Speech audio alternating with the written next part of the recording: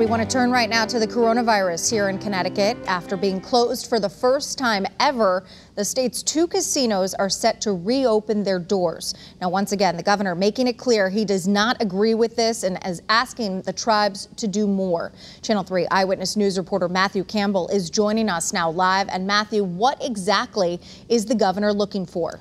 Well, Aaron, the governor has asked for the casinos not to reopen for at least another two weeks, but it doesn't look like that's going to happen. So he's asking for safer measures. And right now, the casinos revealed their safety plans. It includes plastic dividers at tables, limiting players at tables, turning off every other slot machine. And they also installed these UV light devices and air ducts, which are supposed to act as a disinfectant. Now, the casinos are not limiting where players can come from.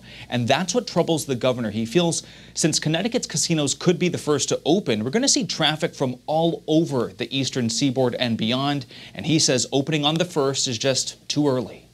It's earlier than Las Vegas. It's earlier than any of our regional um, uh, casinos want to do. I'd like to have a little more time. Short of that, I'd like them to put in stricter protocols. I think that's key for the public health of customers going in, their employees, in the greater region.